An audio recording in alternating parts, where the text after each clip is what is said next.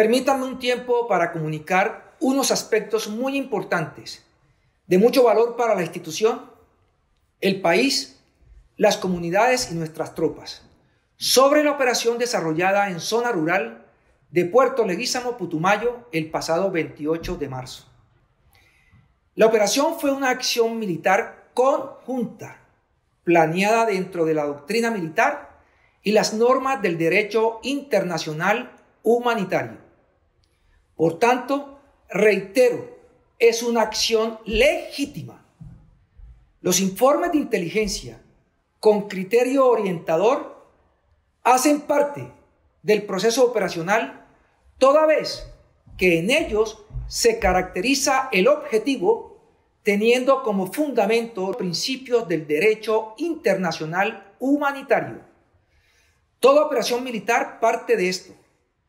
Nuestra misión en esa operación fue muy clara, la de neutralizar el subsistema criminal de una comisión armada del GAOR 48, autodenominados comandos de frontera, y no otra.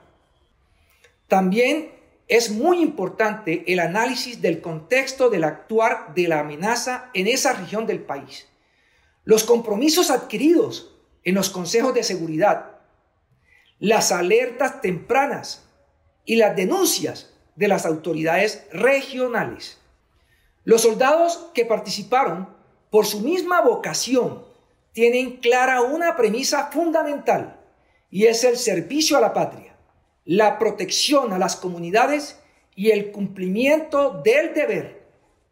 Entonces, ni en las regiones colombianas, ni en el escenario mediático confrontamos a los ciudadanos, a las personas, a los moradores de las regiones.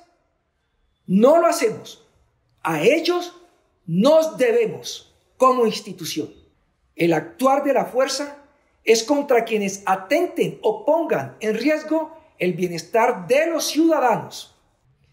La institución ha sido, es y será respetuosa de las autoridades legalmente constituidas y del desarrollo de sus investigaciones, motivo por el cual no pueden quedar dudas de que continuaremos apoyándolas, porque son ellas las únicas que cumplen esta función judicial e investigativa.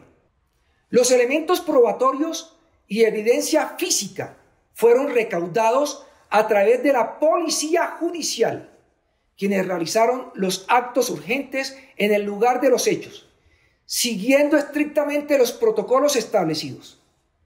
Los muertos en desarrollo de la operación militar, según información de inteligencia y lo reportado por las unidades que participaron en la operación harían parte de la estructura criminal del GAOR 48.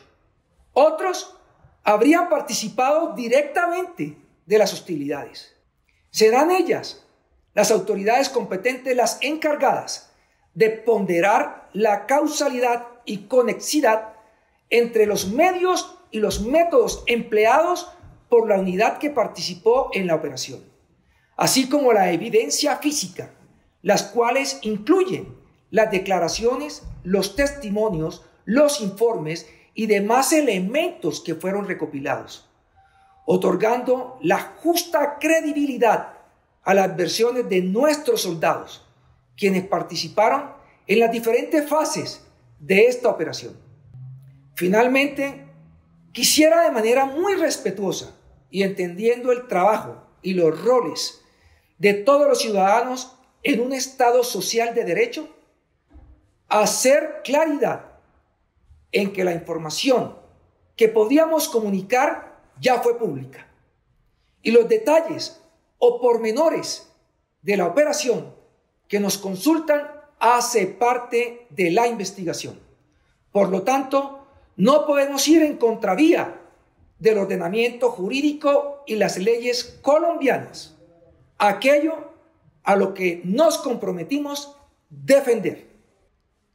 Todo lo anterior siempre alineados a las políticas del gobierno nacional del señor presidente de la República, Iván Duque Márquez, así como del señor ministro de Defensa Nacional y del comandante general de nuestras fuerzas militares. Gracias colombianos, patria, honor, lealtad.